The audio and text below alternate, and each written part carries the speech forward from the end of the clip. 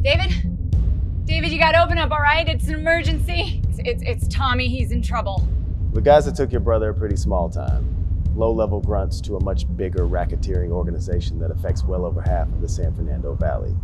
Janie, I am sick and tired of being the smartest person in the room and it doesn't even matter. These people have a code. Still watching those network TV cop You're shows. in danger. It's the Russian mob.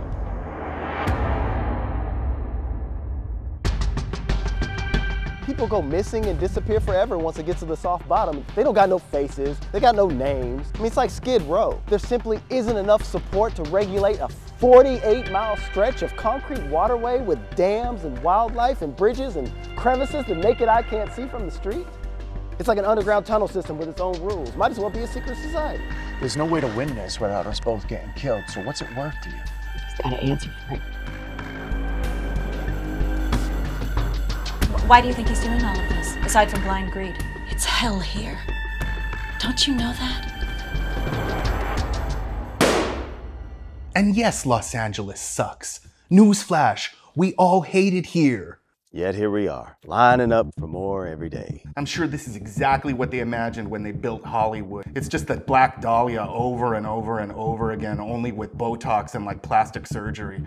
Chasing that stardom and external validation. It's all fake. You clamoring to be that face in a crowd of a million when you could have been happy. Los Angeles is equipped for 200,000 people, not 12 million. Nothing good ever happened in Van Nuys. City of Angels, am I right? This place is cursed, you know.